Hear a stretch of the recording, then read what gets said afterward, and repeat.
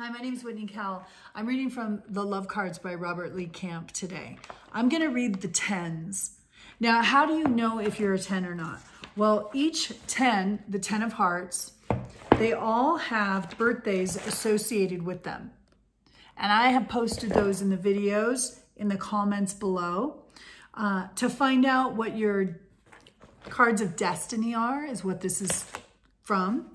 You can always Google. Google always teaches me everything I need to know. But the tens is interesting. That's my number, and I'm going to go through and have the different sections with each number, depending on what your main card is or your planetary ruling card. And the reason I use this information is because I think it's so helpful in self awareness and learning about myself. And then also, when I meet new people, I would like to learn about them, whether it's going to be in a business relationship or personal. I think it's very helpful to better understand who someone is. To truly understand the tens, this is me, by the way, I'm a 10 of clubs and a 10 of spades. we must also be familiar with the aces because these two cards are very much alike and share important qualities. The 10 even has the familiar one in front of its name. This alone should be a clue to the student of the cards as to the nature of the, popul- of the people of these cards. Like the aces, tens possess a lot of drive and ambition. Also, like the aces, tens can be very self centered or selfish. This can be evidenced further by realization that all of the tens have at least one ace in a prominent position in their life spread. The 10 of hearts and the 10 of diamonds both have the ace of hearts and ace of diamonds in their life spread. The 10 of hearts and the 10 of diamonds both have the ace of hearts and the ace of diamonds in their life spread. The 10 of clubs has the ace of clubs. And I have a couple people in my life that are also the ace of clubs. And the 10 of spades has the, the ace of spades. So the 10 of spades is my um, planetary card, my planetary ruling card. These aces cause the tens to be on a soul search over the course of their life, for sure. Here I am. They turn their attention upon themselves to find answers and reasons for the value of their life. To others, this can show up as selfishness. While they are focused upon their own feelings, thoughts, needs, and desires, the 10 may not pay much attention to others in their environment. Indeed, many 10s look upon themselves as selfish. And it is an important personal issue that they must come to terms with during the course of their lifetime. Are they truly selfish? Is being selfish really a bad thing? Is there such a thing as good selfishness? Is there a way to balance out the needs of others with their own? These are all questions they must answer for themselves. The main difference between tens and aces is the zero after the one and what the, that represents. Just as an eight is two fours, the 10 can be looked upon as two fives. Interesting. Five being the number of experience. The 10 person has a great deal of experience they can draw upon for success.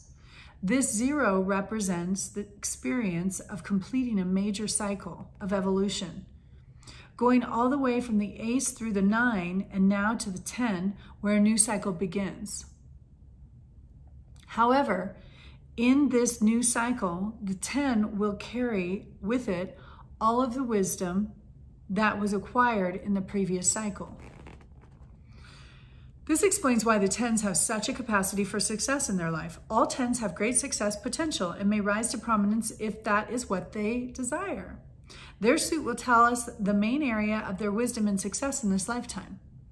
The 10 of hearts has a command over people or children. The 10 of clubs arrived here with a head full of knowledge to share with the world. it's a head full for sure. The 10 of diamonds can handle a business with ease, the larger the better, and the 10 of spades has the drive to accomplish anything they set their minds to. That's why I like having both cards. They are unparalleled workers and achievers. That's true.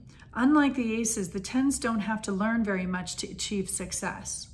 They do like to learn new things, but they already possess a great deal of experience, which they discover as they apply themselves to their careers. The zero is also the number we associate with the Joker.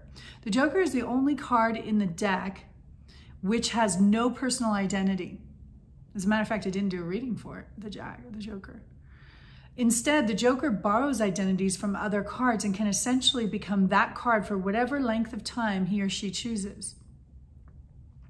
The 10 person also has the capacity to some extent, also has this capacity to some extent to change. So I can go into different um, identities. That's interesting. They have they have all the numbers from the ace through the nine already under their belt.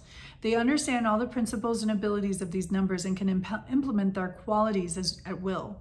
It is interesting to note that the two of the tens, the ten of clubs and the ten of hearts, have jacks as their first karma card.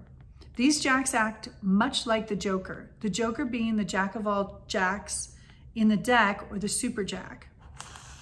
With jacks as karma cards and with the other tens having jacks in their life path, we see that tens and jacks have some strong connection that may further connect them to the joker and its propensity for multiple personalities. The downside of being a 10 is that they can become obsessive with respect to something about their suit. The Ten of Hearts can be obsessed with their families or with their audiences if they are performers. The Ten of Clubs have difficulty sleeping at night. Yes, I do. Because their heads are so full of thoughts and ideas. The Ten of Diamonds can make money the most important thing in their life. And the Ten of Spades can be the world's worst workaholic and type A personality. God, that's my second card. The obsession can become destructive in some cases. Tens can be very all or nothing kind of people. When they pursue something, they go full tilt. When they crash as they go to the opposite extreme, they can get hooked on harmful things because all or nothing is an addictive prone personality type. Luckily, I've been sober for 21 years. We can relate tens to the 10th house of the astrological chart. The 10th house is governed by Saturn and is concerned with reputation and career. Many tens it will be noted, have either strong 10th house planets or planets in Capricorn, or they are aspected by Saturn in their natal charts. The, this creates a drive for prominence and achievement, and in some cases, an emotional need for attention and recognition. It is part of the 10's life work to understand this drive and to come to terms with it. Yes, 10s can achieve great things, things that we may applaud for them, but the real question they must answer is whether they did it for the right reasons. Only they know the answer to do to this. If approached consciously, their work will bring additional happiness to them and those around them. If not, it will cause one problem after another and deprive them of the real goal for which they were working. Tens, like the rest of us, are seeking inner contentment and peace. In this case, see, this seems to come through the avenue of achievement, success, recognition, and respect. Over the course of their lifetime, they will learn that even these qualities must come from within. Reminds me of what one of my mentor coaches has said to me, Marshall Thurber, is um, you can't get enough of what you don't need. So achievement, success, recognition, and respect. it comes from within. I hope you enjoyed this. I hope it landed for you. Again, it came from Love Cards by Robert Lee Camp, one of my favorite books of self-awareness and acknowledging who I am. Cheers.